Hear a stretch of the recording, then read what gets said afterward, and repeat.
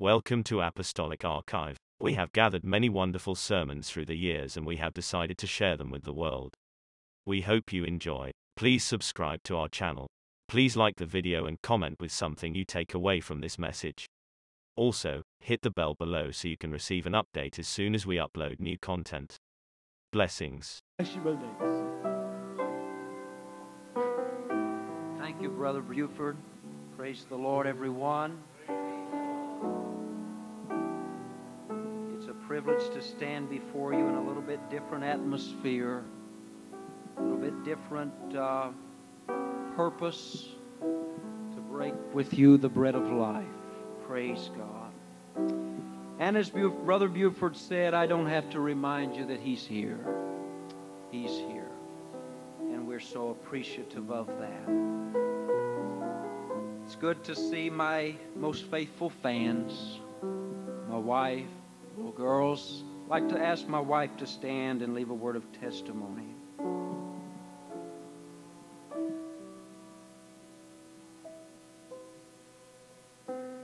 Praise God. Would you stand with me? Luke's Gospel, chapter 11. Luke's Gospel, chapter 11. Beginning with verse 27.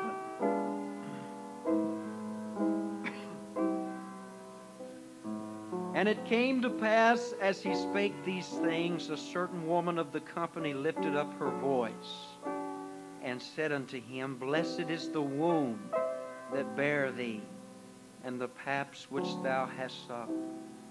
But he said, Yea, rather, blessed are they that hear the word of God and keep it. And when the people were gathered thick together, he began to say, This is an evil generation. They seek a sign.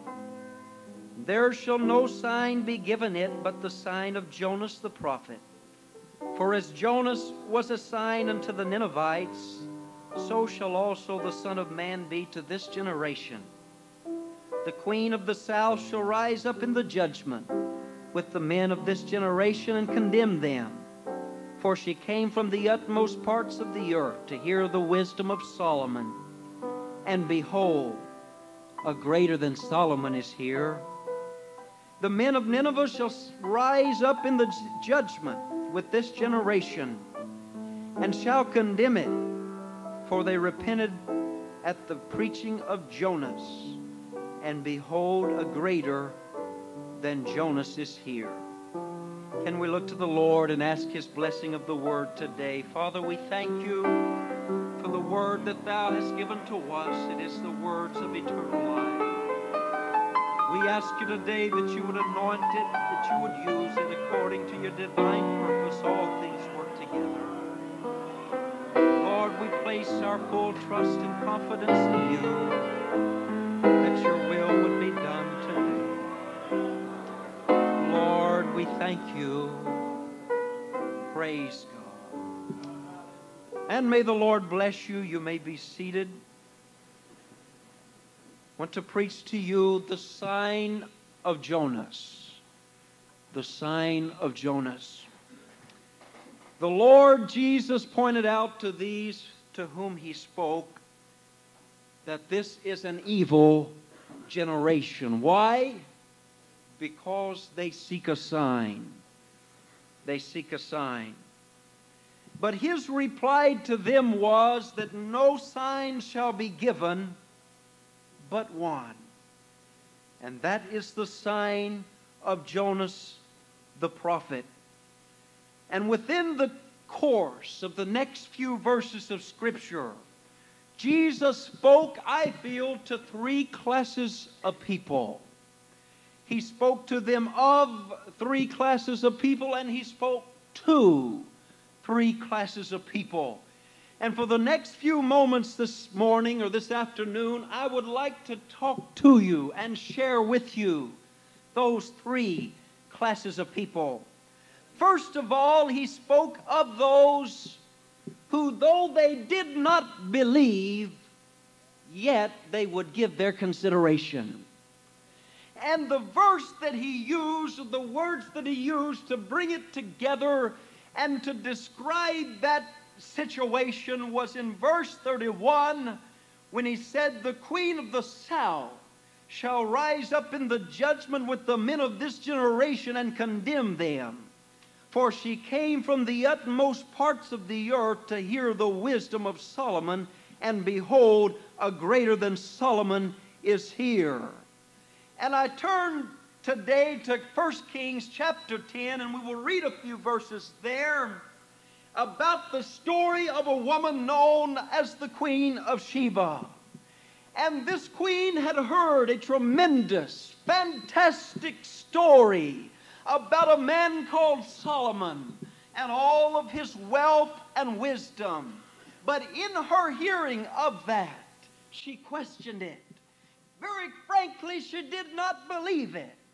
But there is one thing that we can admire about her. She did not rule out the possibility of it. She did not say no to it until she for herself made the journey to find out for herself. Reading with verse 1, uh, chapter 10 of the first Kings, and when the queen of Sheba heard of the fame of Solomon concerning the name of the Lord, she came to prove him with hard questions. She didn't believe it, and she was going to put him to the test. But she came nonetheless. And when she came to Jerusalem with a very great train, that with camels that bear spices and very much gold and precious stones. And when she was come to Solomon, she communed with him of all that was in her heart. And Solomon told her all of her questions. And there was not anything hid from the king which he told her not.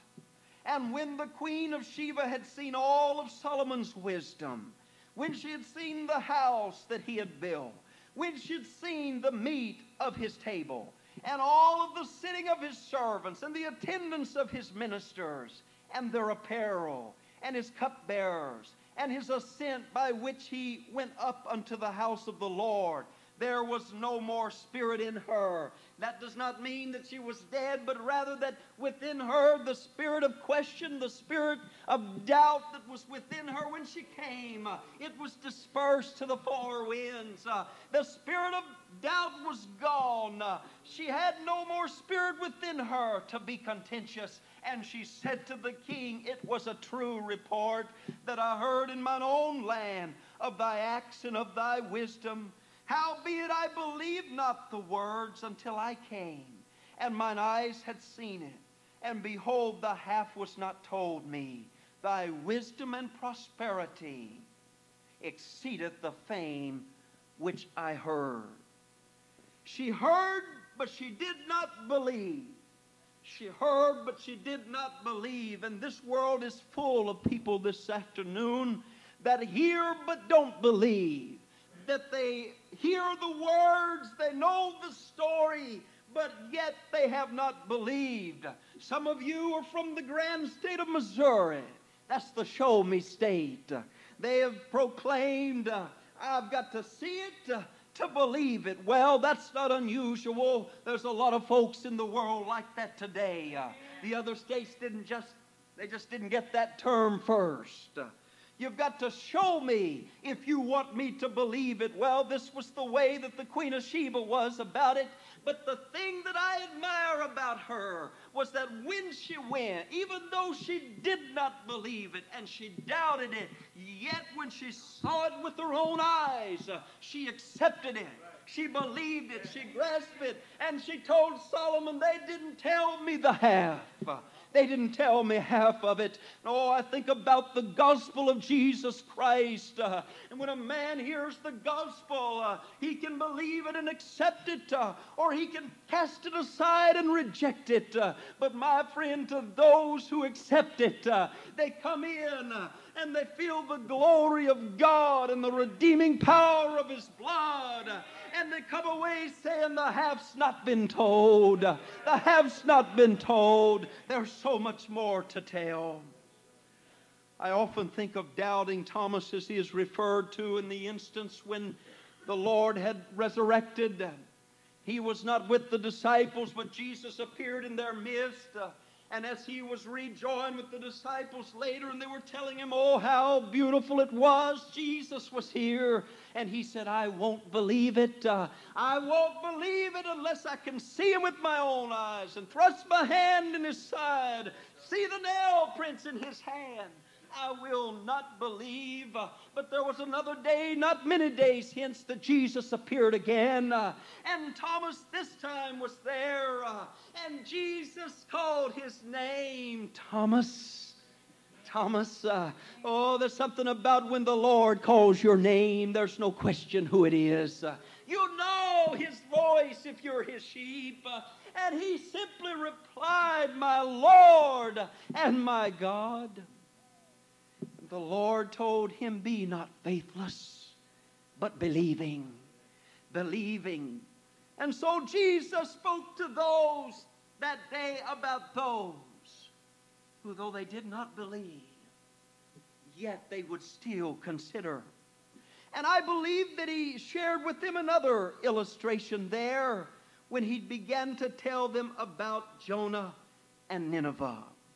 In verse 32, he said, The men of Nineveh shall rise up in the judgment with this generation and shall condemn it, for they repented at the preaching of Jonas, and behold, a greater than Jonas is here.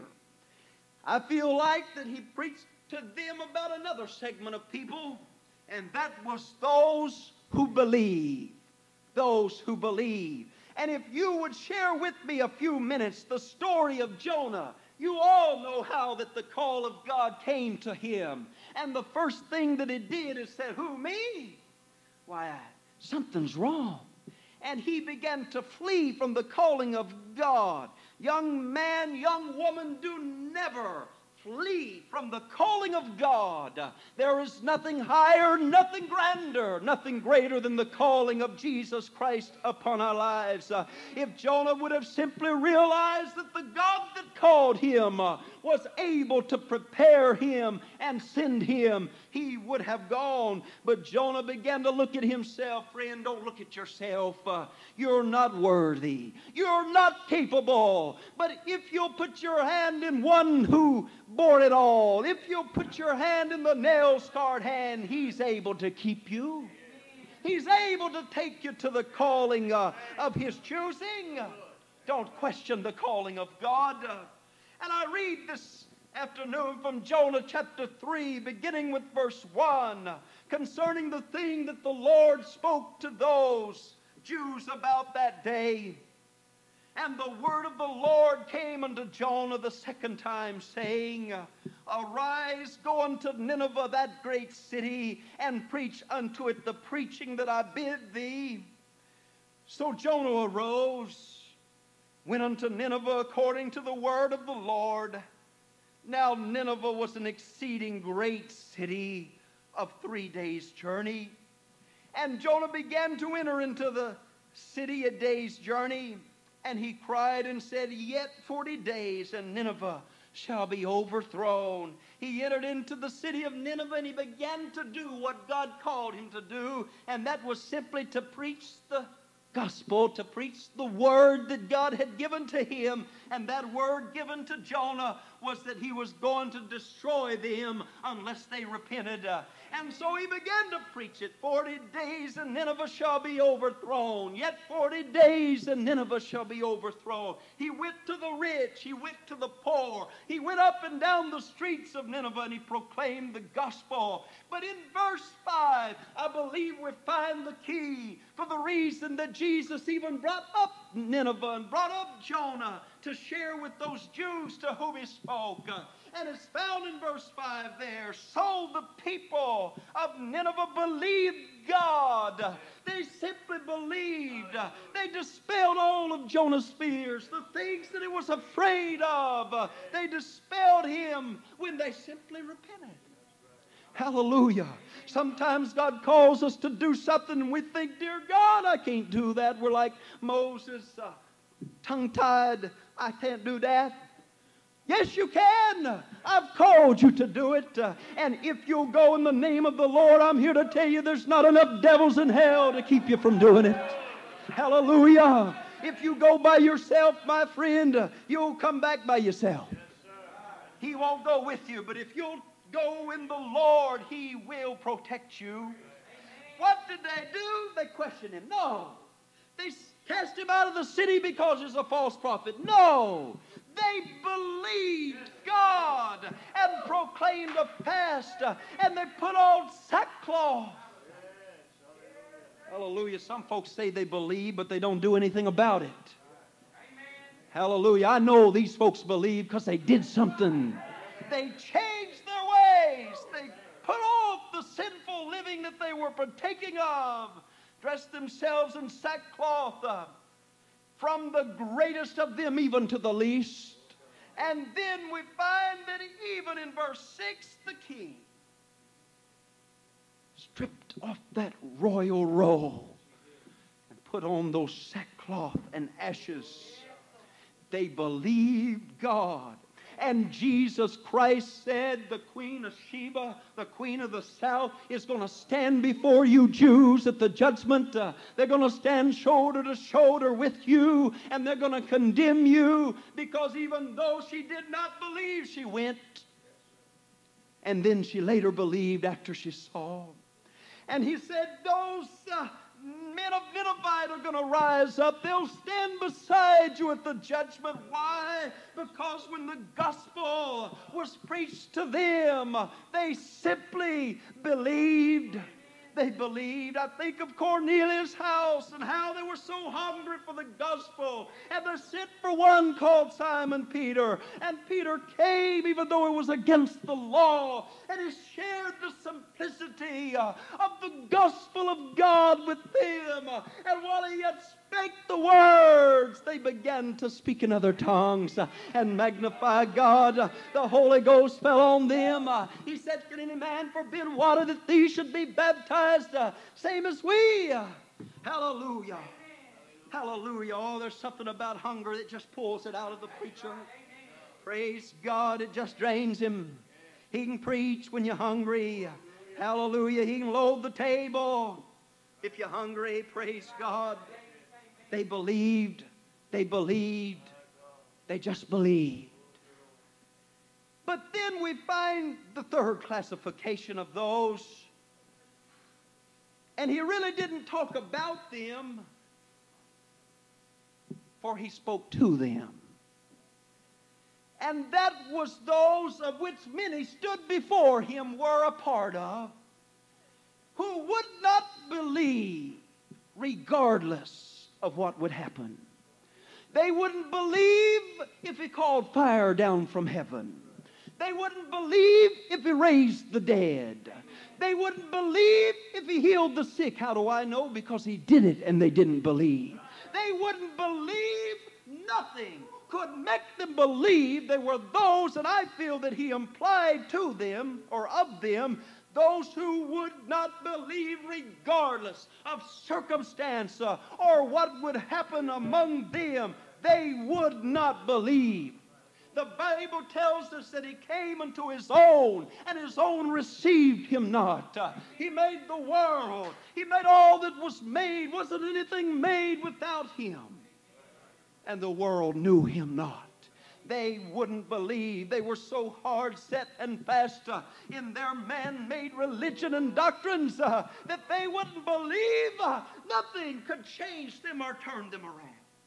And I believe with all of my heart he recognized that when he spoke to them, but he still loved them enough to stand up over Jerusalem and weep his heart out. Oh, Jerusalem, Jerusalem, how oft you've rejected me often I've made myself available to you, and yet you would not believe. Hallelujah. Hallelujah. But we find here a very intricate message, I feel. And I want to preach now. That's just the foundation. I want to preach. Praise God. He spoke there in the 29th verse to those, he said, This is an evil generation because they seek a sign. But then he said, There shall be no sign given it, but the sign of Jonas the prophet.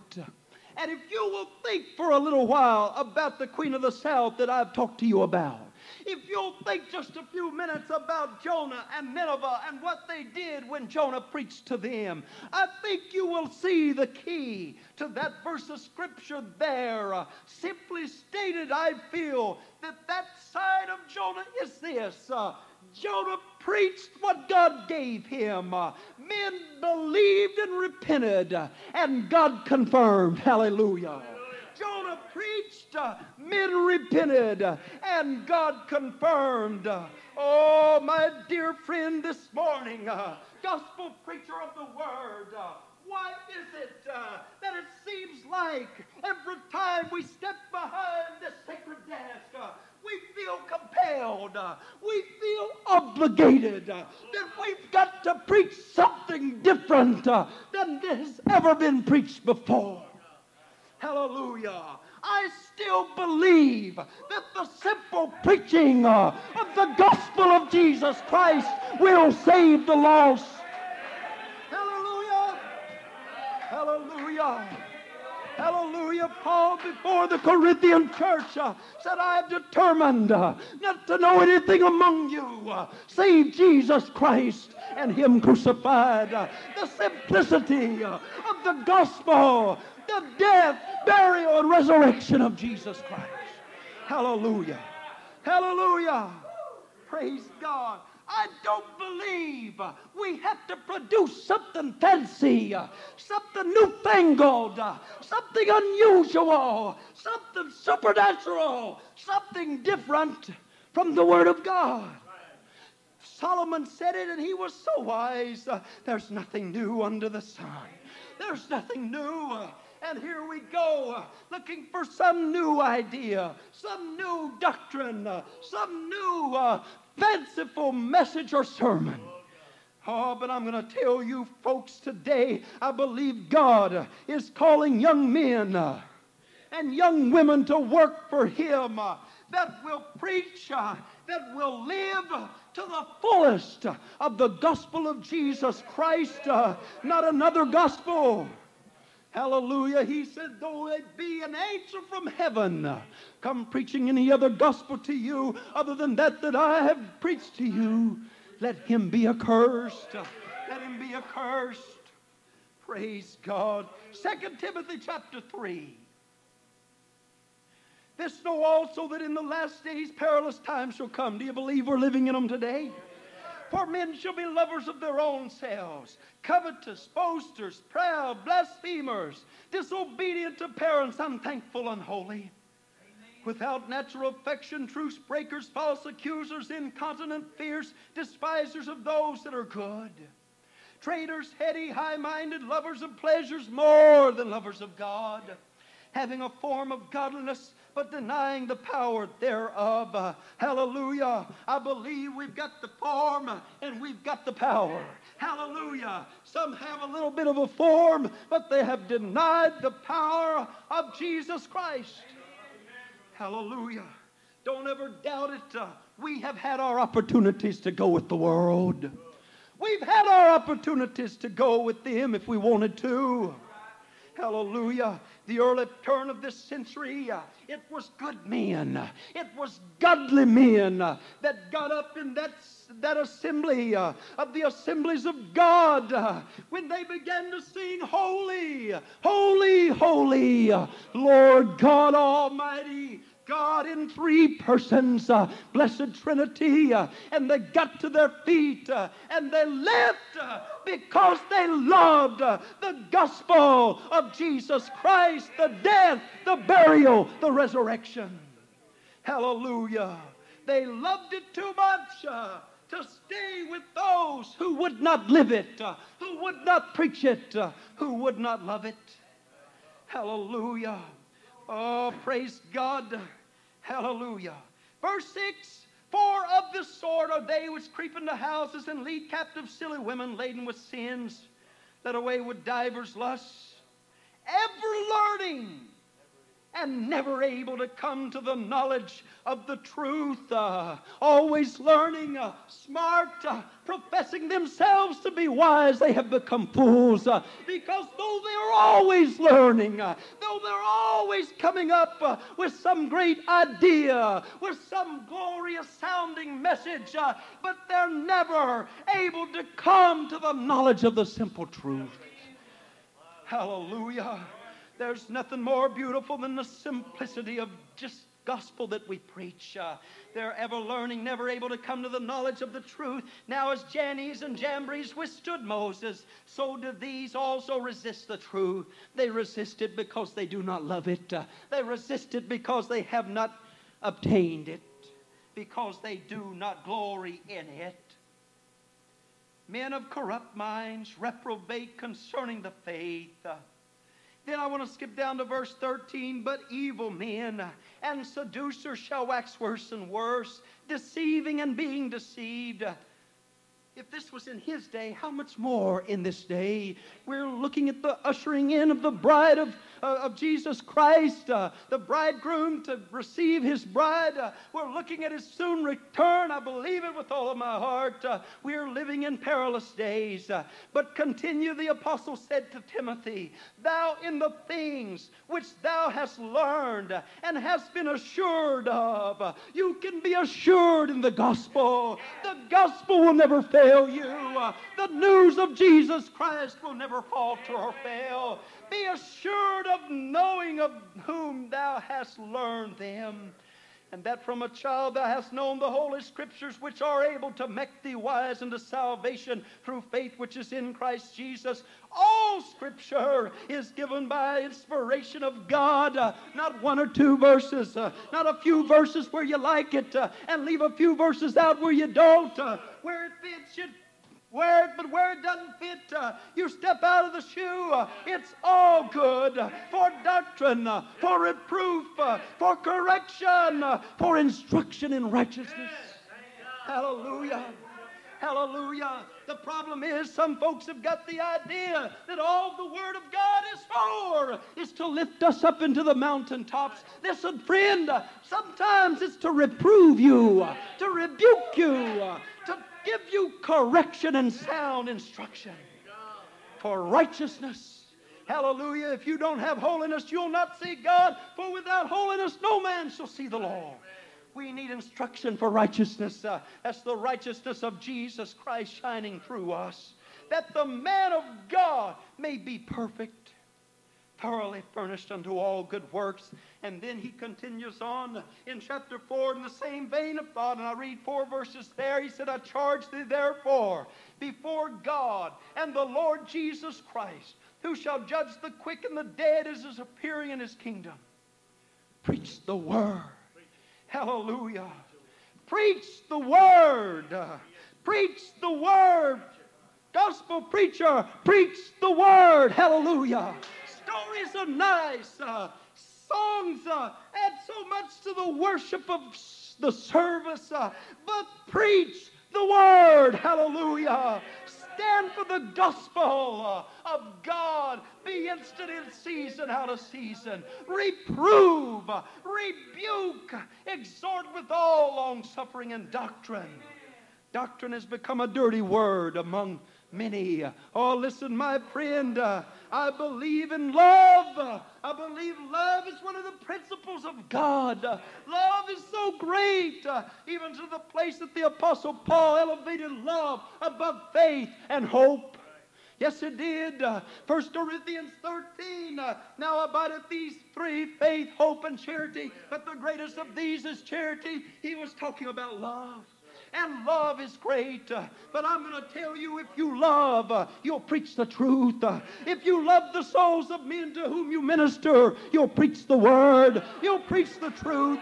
If your preacher loves you, he'll tell you what you need to do to be saved. If your preacher cares for you, he'll preach the truth to you. Hallelujah. Don't tell me you love somebody and then tell them some way other than the gospel. You don't love them.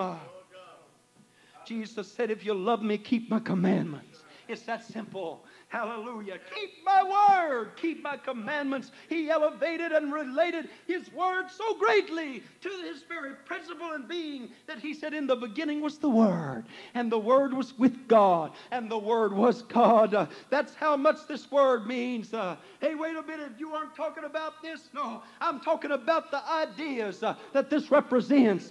This is the representation of God to you.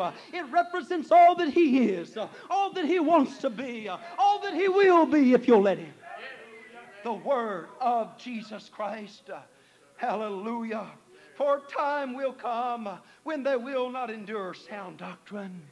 They won't endure it. But after their own lusts, they shall heap to themselves teachers having itching ears. Uh, the teachers didn't have itching ears. Uh, the pupils had itching ears. Uh, they wanted to hear something that sounded good, something that flowed smoothly. And the words I tell you this afternoon, they may be rough and they may not be smooth, and I may not be an orator, but I'm going to tell you that it is the truth of God's Word, the doctrine that will save you and they shall turn away their ears from the truth, and shall be turned unto fables, because they didn't love it. Because they did not love it, they did not like it. Oh, we need to be careful when holy things of God become common. Oh, we need to be careful when holy things of God become common when men in the Old Testament became weary of sacred things of God, when they became common to them, they built a golden calf because uh, they're tired of worshiping a God you couldn't see. Uh, so they poured them up one they could see. Uh, they got tired uh, of holy things. Uh, they got tired of that uh, which was sacred and they allowed it to become common to themselves. when they allowed the sacred things of God to become common to them, they mishandled the ark. they didn't carry it right. They'd be going along. Uh, somebody would see it swaying there and they'd reach over to stop the sway uh, and they would die. Listen, my friend, uh, we're still carrying the ark. Uh, praise God. We are carrying the ark. Uh, it's the word of Jesus Christ. Uh, and when you become familiar uh, with sacred things so much that they become common to you and they don't mean anything to you like they used to, you will begin to mishandle the ark that we as ministers of the gospel of Jesus Christ have been ordained to carry. Hallelujah. God may not strike you down dead uh, for mishandling the ark, uh, but when you do, uh, you die spiritually. You lose every ounce of hope you ever had when you begin to mishandle holy things of God.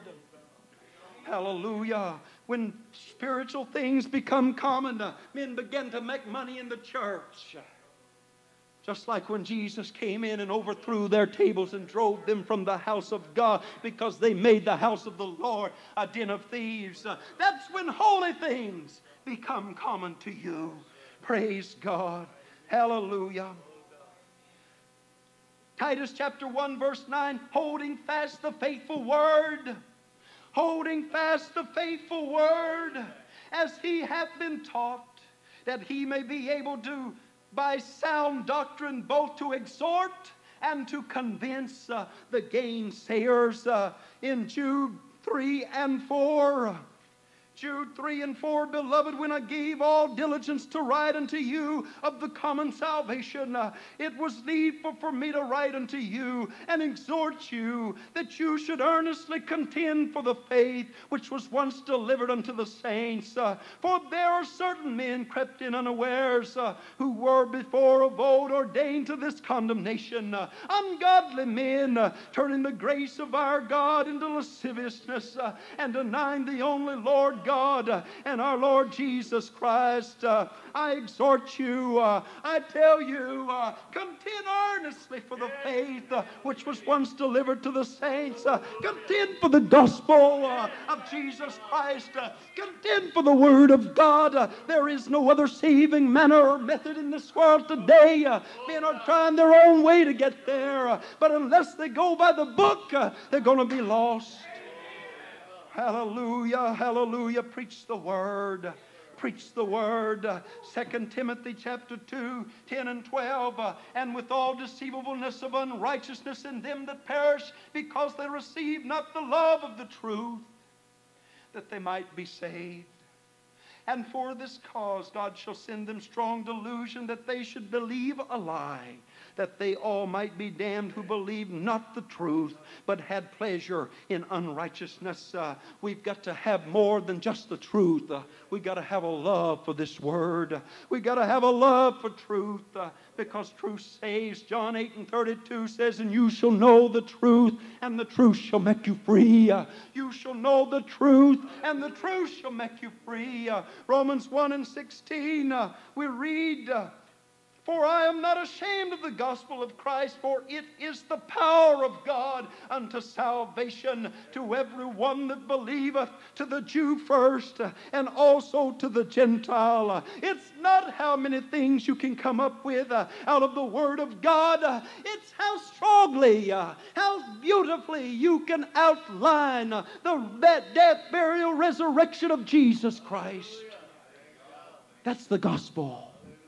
That's going to be the thing that saves you in the end, is His Word. Hallelujah. The sign of Jonas was that he preached uh, they believed and repented, and God confirmed. Uh, and I'm going to tell you uh, that the world, though they look for signs uh, and want something here, are they going to look there? Or if they don't find what they want there, they'll go somewhere else. Uh, but the only sign you have, uh, the only sign you'll ever have, uh, is the preaching of God's ministry, the preaching of the Word of God, the obedience of hearts that are pricked and touched, and the confirmation of God Almighty upon the blessing of His Word. It still works. Uh, preach Acts 2.38. Uh, they'll still pray through. Uh, they'll still speak in tongues. Uh, they'll still get baptized in Jesus' name. It still works. Uh, it has not lost its touch. Uh, it has not lost its flair. It has not lost its power. It's the power of God unto salvation. Praise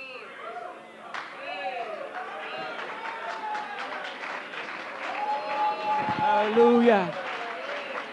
Thank you, Jesus. Thank you, Jesus. Thank you, Jesus. Glory, glory, hallelujah.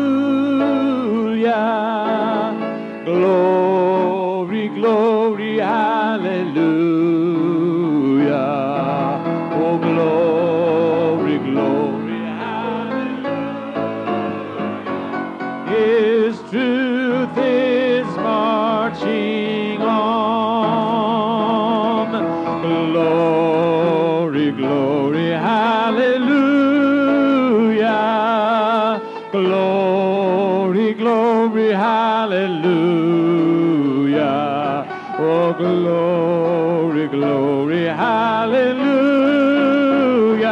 His truth is marching on. Sing it again. Oh, glory, glory, hallelujah.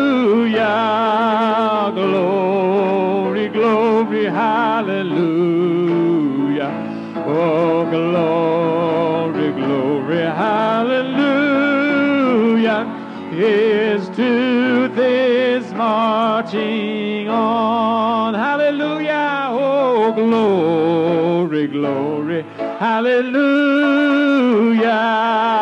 Glory, glory, hallelujah.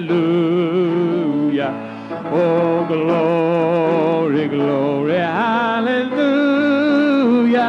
His truth is marching on. Let's love him together right now.